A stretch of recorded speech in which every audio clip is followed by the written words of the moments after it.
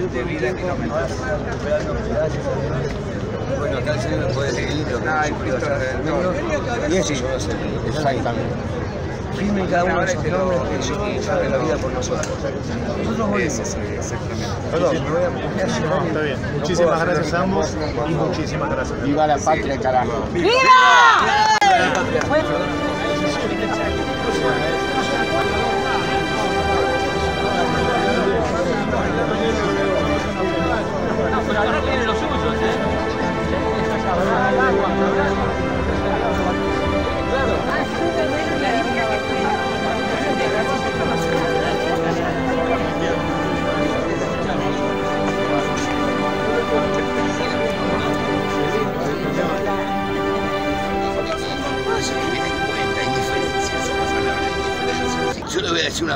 personal.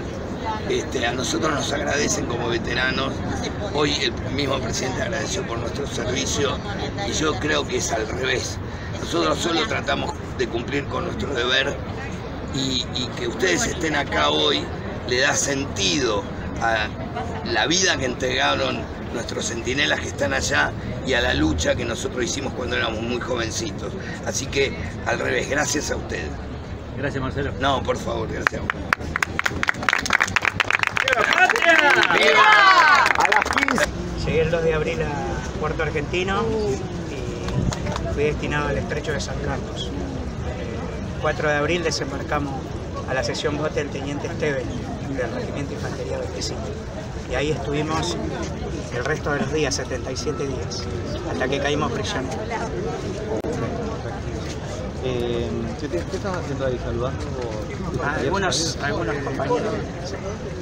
Sí. Algunos compañeros. Igual como yo soy de pueblo, en Córdoba, utilizó mucha gente del pueblo y, y nos conocíamos de antes. Nos incorporamos juntos.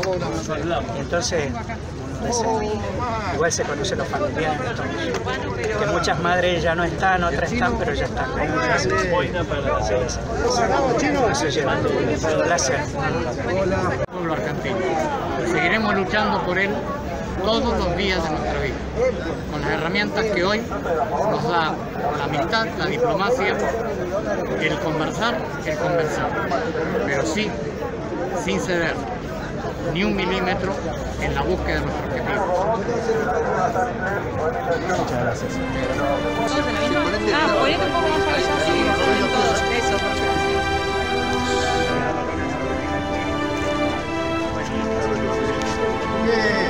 ¡Viva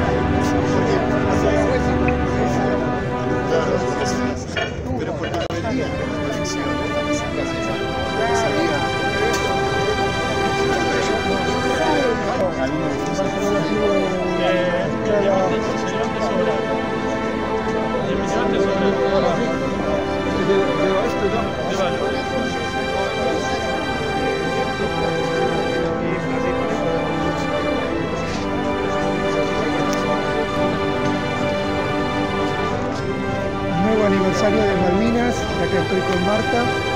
Participamos de este acto los dos hace un ratito.